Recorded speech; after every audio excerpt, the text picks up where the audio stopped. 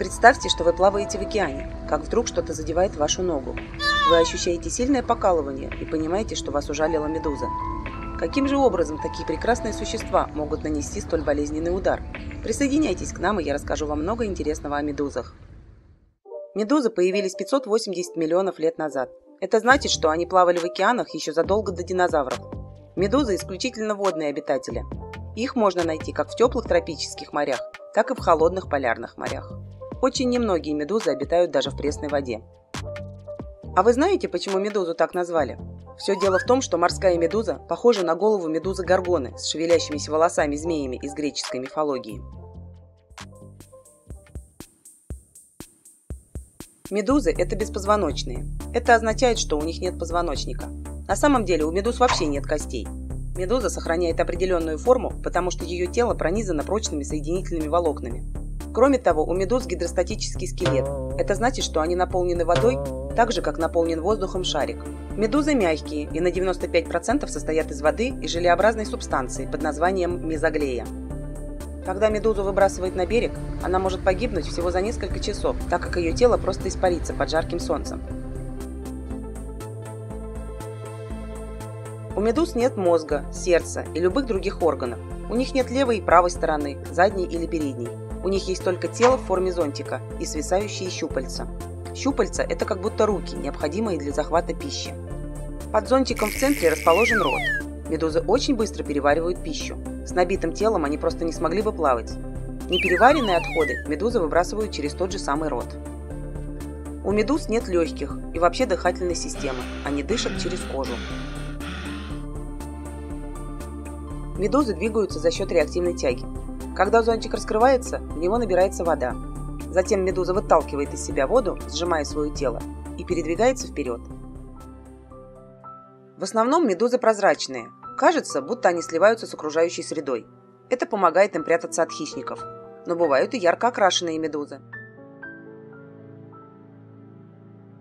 А некоторые вообще люминесцентные, что означает, что они могут светиться вроде светлячков. Форма медуз тоже разнообразна. Например, вот эта медуза называется жареное яйцо. А вот это похоже на персонажа из фильма «Звездные войны». Очень много видов медуз, которые выглядят как вечерние платья с бесконечными слоями цветных оборок. А это медуза – португальский кораблик, который плавает на поверхности воды.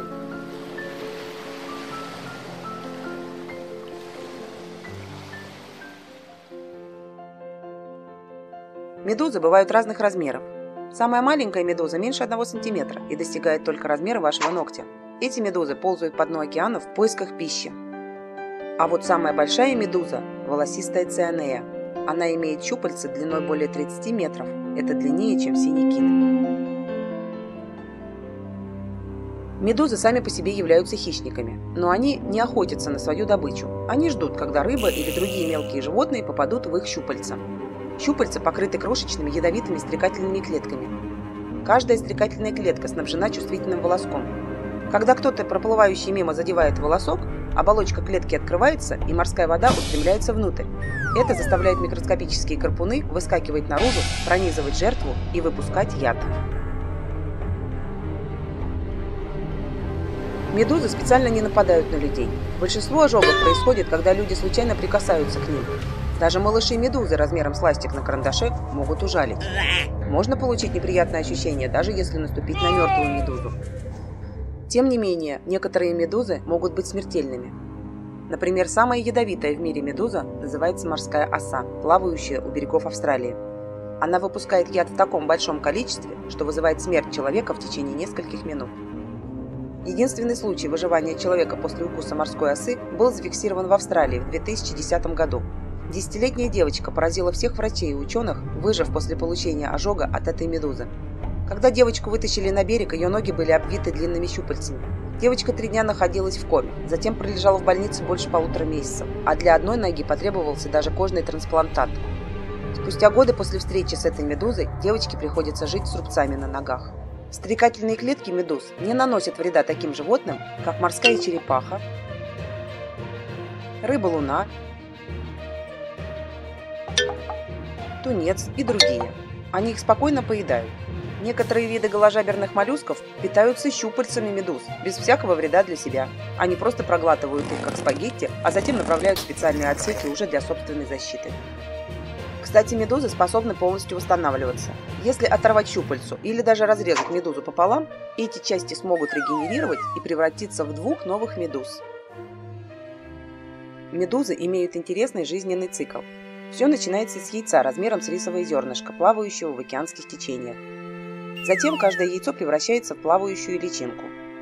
Через несколько дней личинка оседает на дне или прикрепляется к водорослям или камням и трансформируется в маленький полип, который постепенно растет. Полипы похожи на подводные цветы, но их тело окружено страшными щупальцами для добычи планктона. Затем от полипа отделяются крошечные медузки и уплывают. Они растут и постепенно превращаются во взрослых медуз. Медузы не только пережили динозавров на сотни миллионов лет, но даже побывали в космосе. В 1991 году более 2000 личинок медуз отправили на космическом шаттле «Колумбия», чтобы проверить, смогут ли медузы жить в условиях невесомости.